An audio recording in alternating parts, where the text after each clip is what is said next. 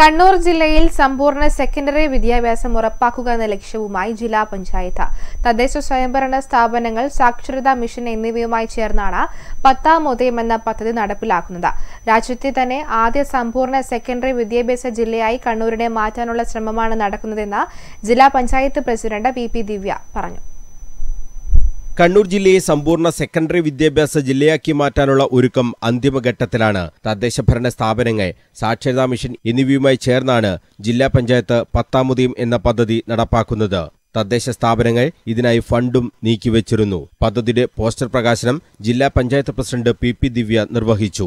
സമ്പൂർണ higher secondary വിദ്യാഭ്യാസ ജില്ലയായി കണ്ണൂർ മാറുന്നതിന്റെ പ്രവർത്തനം അന്തിമഘട്ടത്തിലാണ്. ഈ നേട്ടത്തിലെത്തുന്ന രാജ്യത്തെ ആദ്യ ജില്ലയാകും കണ്ണൂരെന്ന് പി പി ദിവ്യ പറഞ്ഞു. കണ്ണൂർ ജില്ല സമ്പൂർണ സെക്കൻഡറി വിദ്യാഭ്യാസ ജില്ലയാവുന്നതിന്റെ ഒരുക്കത്തിലാണ്. നമ്മുടെ കണ്ണൂർ ജില്ലയിലെ എല്ലാ തദ്ദേശ സ്ഥാപനങ്ങളും ഈ വർഷം പത്താം ഉദയം എന്ന പദ്ധതിക്ക് വേണ്ടി ഫണ്ട് മാറ്റിവെച്ച് കഴിഞ്ഞിട്ടുണ്ട്.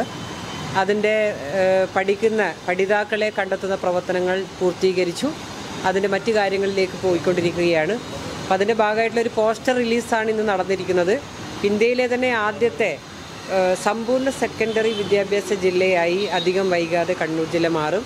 അതിനുവേണ്ടി ഒത്തൊരുമിച്ചുകൊണ്ടുള്ള ഒരു പ്രവർത്തനത്തിന് വേണ്ടിയിട്ടാണ് കണ്ണൂർ ജില്ലാ പഞ്ചായത്ത് നേതൃത്വം കൊടുത്തുകൊണ്ട് പത്താം ഉദയം എന്ന പദ്ധതി ഇവിടെ നടപ്പിലാക്കുന്നത്. പഠിതാക്കളെ തിരഞ്ഞെടുക്കുന്നതിനുള്ള നടപടികൾ പൂർത്തിയാക്കിയിട്ടുണ്ട്. ജില്ലാ പഞ്ചായത്ത് ഹാളിൽ നടന്ന പോസ്റ്റർ പ്രകാശന ചടങ്ങിൽ vice president advocate Binoy Kurian സ്ഥിരം സമിതി അധ്യക്ഷരായ advocate K K Ratnakumari U P Shobha V K Suresh Babu ജില്ലാ panchayat secretary A V Abdul Latheef ജില്ലാ കോർഡിനേറ്റർ ഷാജു ജോൺ എന്നിവർ പങ്കെടുത്തു.